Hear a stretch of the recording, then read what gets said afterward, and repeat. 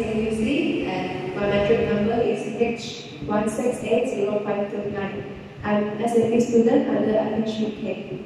Next, I've done my SIP in Perhentian Island Resort and the business model purpose. So the company background, Perhentian Island Resort is an ideal beach resort for leisure family vacation in Malaysia. It's surrounded by lush greenery facing white sandy beach and a warm blue sea. It can gather family and head to the inviting sea for a swim and also enjoy snorkeling or scuba diving. Next. This is the model purpose. BMC is a strategy, management and lean startup template for developing new or documenting existing business models. It is a visual chart with element that describing a firm's or product value proposition, infrastructure, customer, and finance. Nine elements in the business model canvas. The first is key partners, key activities, value proposition, customer relationship, customer segment, key resources, channel, and cost structure, and revenue streams. Next, that is online travel agency and travel agency and company. So online travel agency, customer can book the hotel or resort through the online travel agency such as Trivago, Traveloka, or Booking.com. The next is travel agency and company. For travel agency that sell the tour package of Pulau Perhentian such as Holiday Go Go Go, Travel Agency and tours and so on.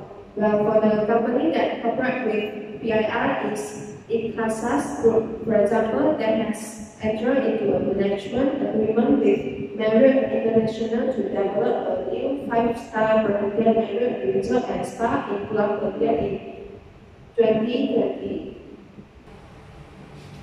There are three key activities, that is marketing activity, login, check-in and check-out, customer service.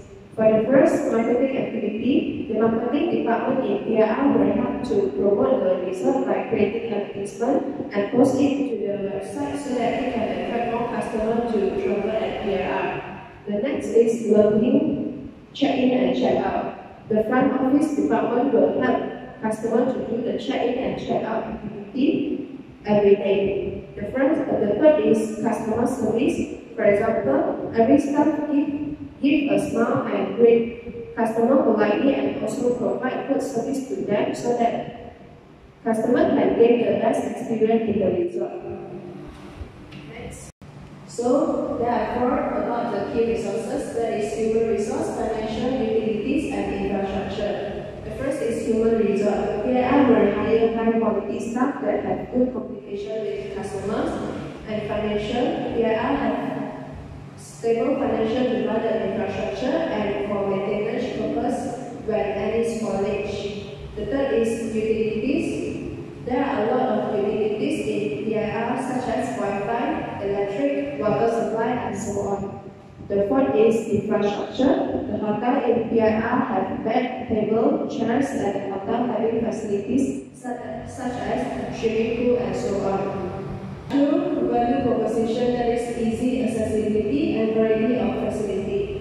Easy accessibility. PIR located at Pulau Perhentian, Terengganu, and the tourists just need to go to Kuala Besut and go to PIR by boat around 30 to 45 minutes only. There is three customer relationship. First is customer service. Staff at, at PIR must build good relationship with customer to fulfilling their needs and wants. And second is social network. PIR have own website and if customer have any inquiry, just an email to them directly. So this is the easier ways to customer. The third is offer and discount. Customer can get the best rate as there is no middleman if they are booking on the hotel website, so they can save cost. Next. Channel, there is social network and advertising. Customer can get to know the result through social networks such as Facebook, Instagram, and online travel agency like Trivago and Booking.com. They also can check the review of other customers and the advertising. Customer can get some information of PIR through the advertising ads, brochure, and so on. So there is three customer segment that is honeymoon couple, families, tourist group. For the first honeymoon couple, PIR is well known as its sandy beach, fresh scenery and marine diversity, so it can provide an unforgettable moment and memory for honeymoon couple. For the families, the parents can bring their children, travel together and enjoy the sea, sun and sand at the PIR. For the tourist group, they can just relax at the PIR and it also is a treat to those who like to snorkeling, canoeing and deep sea fishing. So, there is four cost structure that is salary and wages, food and beverage costs, utilities costs and maintenance costs. The first is salary and wages. It is paid for the workers such as front desk officer and housekeeping staff and so on. For the food and beverage department is serving a lot of food and beverage for customer and PIR also make some costs to buy the ingredients such as vegetable, fruits and meat and so on.